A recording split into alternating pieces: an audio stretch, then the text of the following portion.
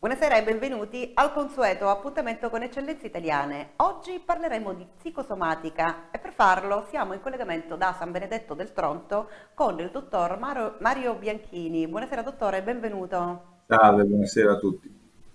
Dottora Bianchini, che cosa, cos'è, cosa si intende quando parliamo di psicosomatica? Mm. Beh, la parola in realtà non è che mm, ci piaccia più tanto, perché è una parola che può essere fuorviante, cioè sembra alludere al fatto che alcuni nostri problemi fisici, alcune nostre sintomatologie, alcune nostre malattie dipendano dalla mente. In realtà non è questo, in realtà quello che oggi sappiamo è che quasi tutte le malattie contengono contemporaneamente un aspetto somatico, fisico, materiale, e un aspetto psichico. Le due dimensioni viaggiano insieme. Le modalità attraverso le quali coesistono sono oggetto di discussione da diversi decenni, per non dire secoli, per non dire di più perché volendo ripercorrere le storie della storia della psicosomatica dovremmo risalire a Ippocrate e ad altri. In realtà oggi ci sono diverse scuole di pensiero, quella che appartiene alla mia formazione è la scuola di pensiero dell'Istituto Rizza, del professor Morelli, Vittorio Caprioglio, Piero Parietti che è venuto purtroppo meno questa settimana e che ha le sue radici nel pensiero psicodinamico, in particolare di Jung, di Georg Grodek e di altri, dove affermiamo sostanzialmente che è sempre possibile trovare all'interno di ogni disturbo, di ogni malattia e quindi della vicenda esistenziale che riguarda il paziente, aspetti mentali e aspetti somatici che sembrano alludere allo stesso tipo di senso, di significato ed è, questo, ed è a questo che noi ci rivolgiamo, cioè a questo che noi siamo interessati per riuscire a permettere alla persona di avere un beneficio dal nostro intervento in quanto psicologi specializzati in psicosomatica. Cerchiamo di estrarre dalla vicenda questo senso, riconsegnarlo al paziente in modo che possa fare, ecco a questo punto, delle scelte di vita, perché questo è l'obiettivo, cioè riuscire attraverso la nostra consulenza e la terapia che ne segue eh, riuscire a permettere al paziente di fare delle scelte di vita che riorientino la sua giornata dal punto di vista alimentare, comportamentale, affettivo.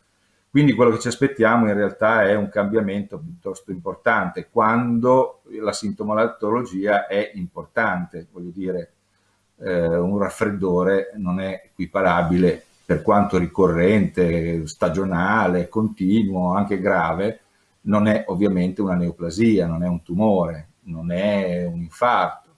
Quindi dobbiamo abituarci all'idea che eh, ciascuna malattia porti con sé conseguenze importanti per la nostra giornata. Non possiamo fare finta, continuare a fare finta che la malattia sia solo ed esclusivamente un incidente, una, mi permetta il termine, una sfiga. Non è così, non è così. Quindi la psicosomatica è il tentativo di portare la riflessione sul disagio, sulla malattia, un po' al di là di quello a cui siamo abituati dalla medicina ufficiale. Quindi, dottor Bianchini, se ho capito bene, quindi la psicosomatica ti, si occupa di quelle malattie che si mh, vengono, colpiscono il nostro organismo, ma di partenza partono probabilmente da, da una questione, la causa è di tipo psicologica? È questo, questo, che... questo, questo è quello a cui siamo abituati a pensare. Diciamo che in realtà quello che oggi sappiamo è che l'aspetto fisico è, è, il primo modo che ha di, il modo più facile che ha il nostro disagio di manifestarsi. Non è detto che sia l'unico, non è detto che sia il più importante. Facciamo un esempio. Eh, noi sappiamo da molti decenni ormai che eh, molte delle morti sono causate, adesso, al di là della situazione pandemica che stiamo vivendo, eh, fino a qualche tempo fa, oggi alcuni dati sono, sono modificati, eh, due morti su tre avvenivano per neoplasie e per eh, malattie cardiovascolari, in particolare l'infarto.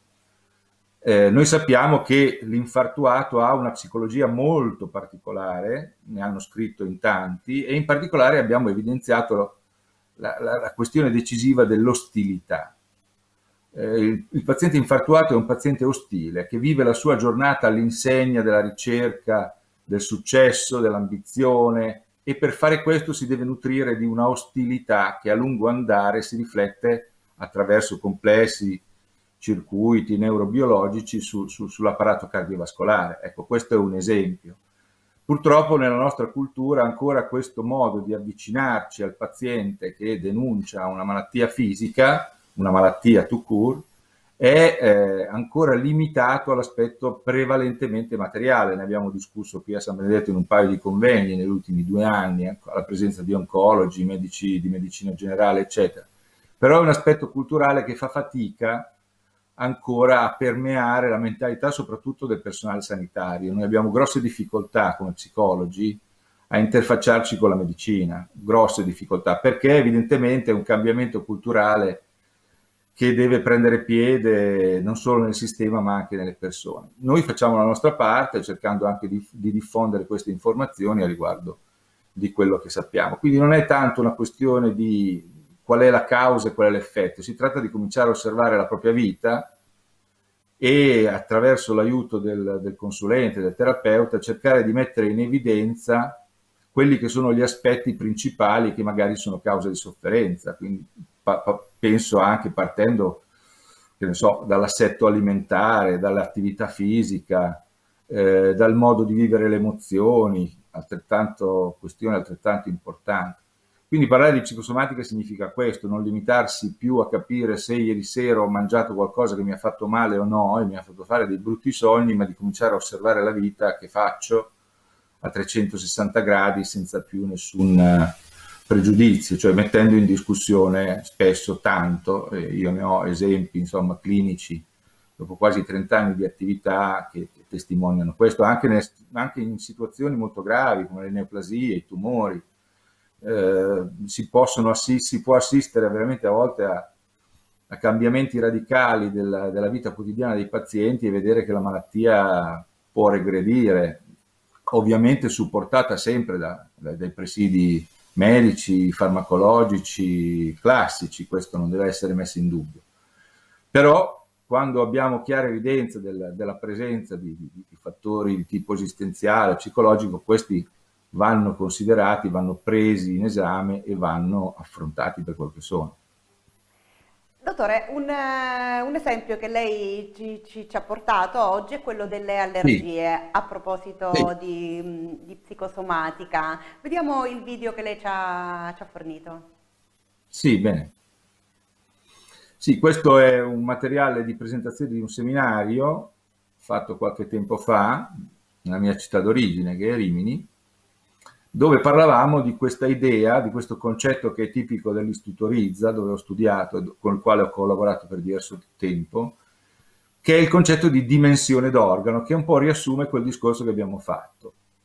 Cos'è la dimensione organo? Ecco, se noi guardiamo la semplice allergia, noi vediamo, ecco qui sotto c'è un'indicazione del meccanismo biologico dell'allergia, cioè uno stimolo esterno che viene valutato come uno stimolo pericoloso, tutto il sistema immunitario mette in atto una serie di difese, reagisce, l'effetto finale è la liberazione di istamina che dà luogo a tutte le eh, reazioni che conosciamo. In, in realtà però l'allergia è una reazione eccessiva dell'organismo a stimoli come i pollini, che di per sé non hanno nulla di pericoloso, di minaccioso per la nostra esistenza. Allora, se guardiamo che cos'è sul piano psicologico, per esempio, un, analogo, vediamo che le fobie si comportano esattamente nello stesso modo. Una fobia è di solito una reazione eccessiva dal punto di vista psichico a uno stimolo che in realtà non è minaccioso per la nostra esistenza, ma viene valutato come minaccioso. Quindi, da questo punto di vista, possiamo dire che la fobia è l'aspetto psicologico di quello che sul piano somatico, sul piano fisico, è l'allergia. C'è questa stretta analogia, sono lo stesso tipo di meccanismo, una reazione eccessiva a uno stimolo neutro, a un evento potenzialmente non minaccioso. Questo che cosa comporta? Comporta per esempio l'evitamento sociale. Le persone tendono a richiudersi in casa, a vivere la vita come una insieme di eventi minacciosi, pericolosi e quindi si isolano. Ecco, questa immagine della persona che guarda la propria vita dal buco diremo della serratura, è esemplificativa, no? Un, una restrizione dei contatti, delle occasioni di vita, che si riflettono per esempio anche a lungo andare sulla postura. Nella psicosomatica noi osserviamo anche per esempio come questa lunga serie di eventi può condizionare addirittura la nostra postura. Per esempio nel caso dell'allergico noi tendiamo a vedere una postura molto rinchiusa, un po' che ci ricorda l'orso che sta per entrare in letargo, no? che si difende da tutto ciò che sta fuori dalla caverna. Considerare insieme tutti questi elementi e quindi parlare per esempio di una dimensione allergica significa parlare di dimensione d'organo, cioè è come se il sistema immunitario prendesse il sopravvento come importanza su tutti gli altri. E noi diventiamo in quel momento dei soggetti allergici, non sono più Mario Bianchini, ma sono l'allergico Mario Bianchini. Altre implicazioni sono quelle, per esempio, delle restrizioni alimentari. Tutto si lega in una specie di circolo vizioso dove l'evitamento sociale, la paura, le restrizioni alimentari, la postura, eccetera, costruiscono un universo di senso di cui molto spesso il paziente non è consapevole, perché vede le cose in maniera separata. Il nostro compito è quello di restituire questo quadro d'insieme e permettere al paziente di fare una riflessione approfondita su quello che è il significato di tutto questo. Quindi una, lei può capire che a questo punto, se queste cose hanno una loro plausibilità, un paziente allergico non può non occuparsi della propria fobia, non, ho, non può non occuparsi del proprio isolamento sociale, non può non occuparsi di quello che è il suo comportamento quando è a tavola o quando è con un partner. Tutto si lega attraverso questo concetto che abbiamo definito di dimensione d'organo. Questo in estrema sintesi è il lavoro di quello che oggi possiamo chiamare lo psicosomatista, altri dicono psicosomatologo, ma insomma, ripeto, non ho più molto piacere nell'usare questo termine che è un po' fuorviante, però di questo si tratta, insomma, questo è quello che facciamo.